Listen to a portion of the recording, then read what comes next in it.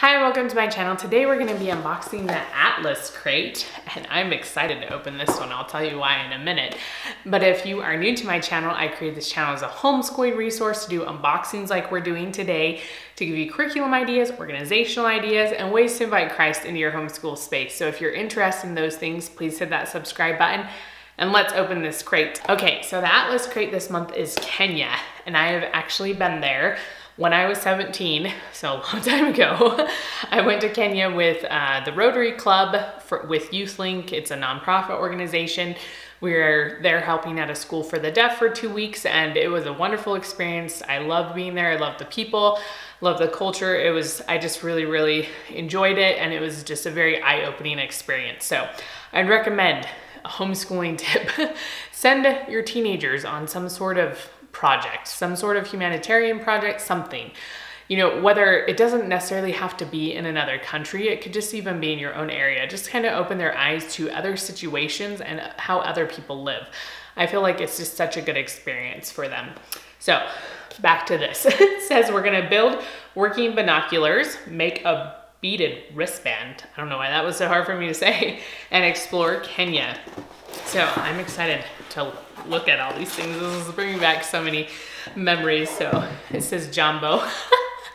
Jambo, Jambo wanna. You can start singing some song. I'm not a singer, but there's a lot of songs I love there and they're just like so upbeat and happy. So I at least know how to say hello in in in Kenya. I can do it.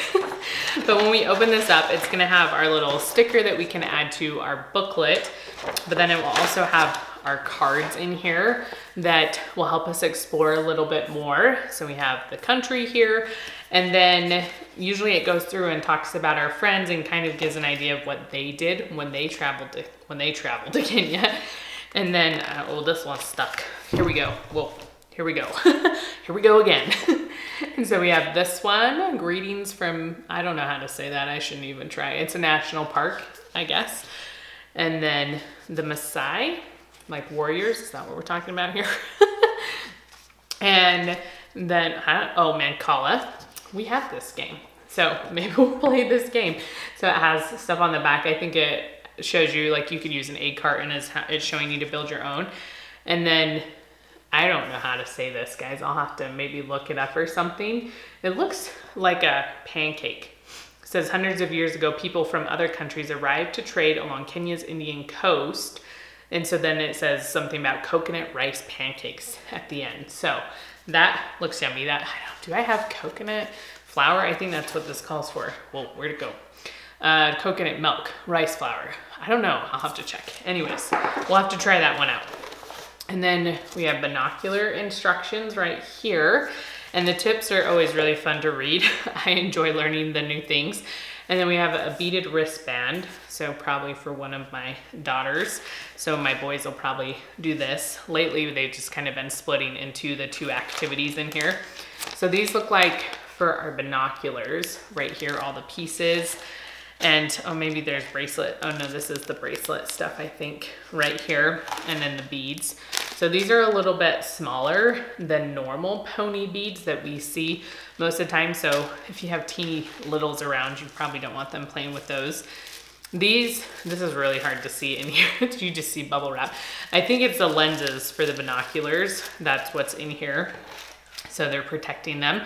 And then we have these for our binoculars as well, and some more pieces for our binoculars. So I'm excited for this. I'm excited to read through all the things as well and to see if there's anything that's familiar to me. Maybe a place I already traveled there, I don't know. And to maybe show my kids pictures. They love pulling out the picture books and I have tons of them from when I was in Africa. So maybe we'll pull those out. But we're gonna get exploring and I will let you know how it goes.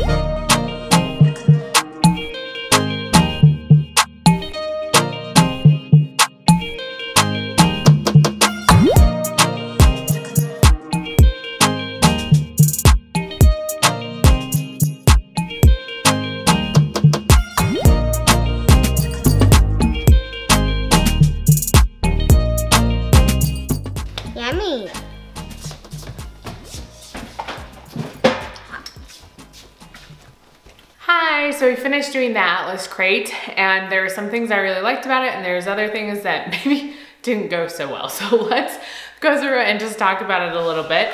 So like I mentioned in the intro, I have been to Kenya, so it was fun to see some things that I was familiar with, some of the Swahili words, and then my kids were able to see all my decor that I have. And so that was fun. I have some big elephants. I guess I should have brought them in here to show you, but I didn't. But I have some like big elephants and a bowl and all these cool things from there. So it was fun just to, to talk about it. They enjoyed finding it on the map.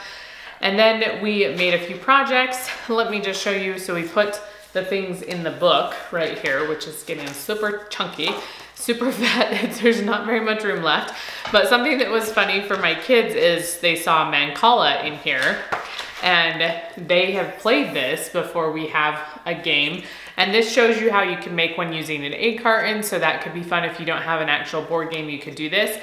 And then one of the pictures that I have from Africa actually has the, the people playing Mancala. So it was just really funny. My daughter noticed that. I had never noticed that before, but since we were just talking about Mancala being related to Kenya, she noticed it in the photo. So it gives you a whole bunch of ideas back here of how you could make the game. And then I guess since we're here, we'll talk about this recipe. This, most of the recipes I've tried in the Atlas crate work out pretty darn well. Obviously I haven't ever had like the original for most of them, so I can't say for sure, but this one was, this one kind of was hard, guys. I was excited about it because it's a pancake batter using yeast, which I have never made a pancake batter using yeast before.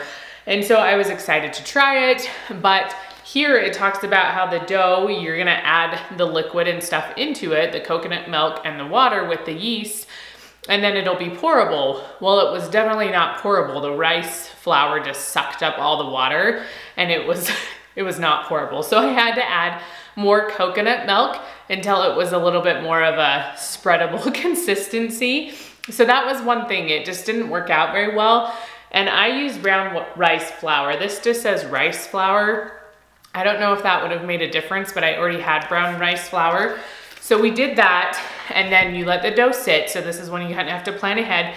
So we let the dough sit for about an hour, and then I cooked them up, which again was a little bit hard. You spread them out, but then they just don't cook super well, so you go to flip them and they fall apart.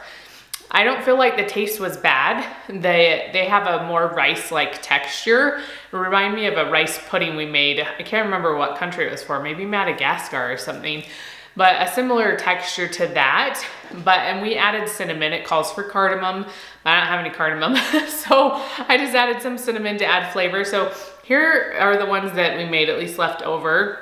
My kids tried them and they did like the flavor for the most part. It's just very different. You know, they call it a pancake, but it is a very dense texture and it's a little bit fried on the outside because you're putting it in a little bit of oil. And so again, the, the flavor isn't bad. It's just, it's just different. So I don't know what you'd use this for if they dip it in like soups or, you know, it, I'm not, it has sugar, quite a bit of sugar in it. So it's fairly sweet not overly sweet, but so I'm not sure what use it in, but if you know, comment it down below because I just love, I'd love to know more about it. But let me show you the crafts that we made. So they made some binoculars right here.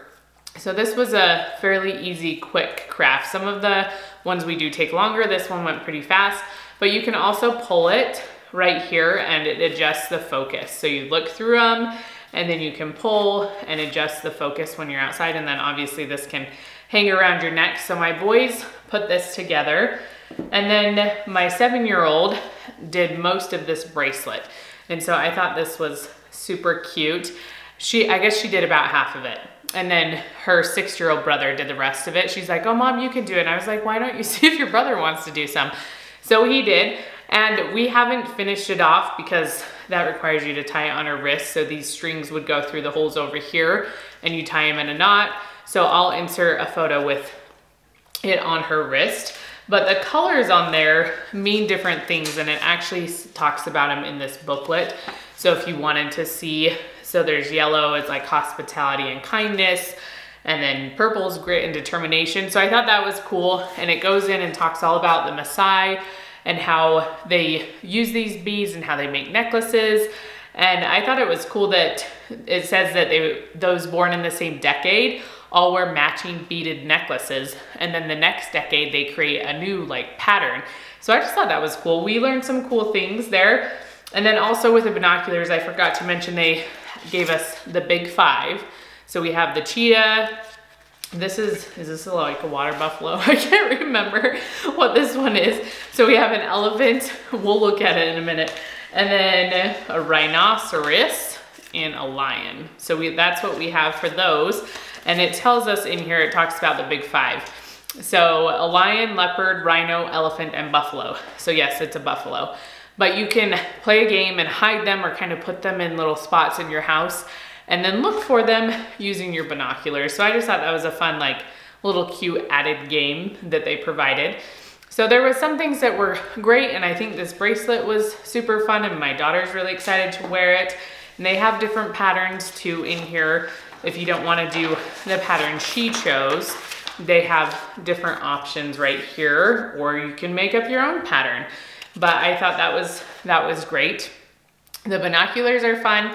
The recipe again didn't taste bad, but it was just a little hard to execute and I'm pretty familiar with cooking. I'm in the kitchen a lot.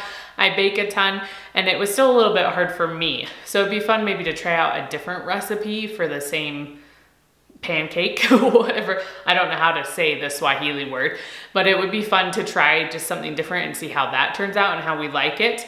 But all in all, I still think that Atlas Crate was great. I enjoyed talking to my kids about some place I've been and just sharing a little bit of my stories with them. That was a lot of fun. So if you enjoy seeing these videos, please give me a thumbs up and I will see you next time.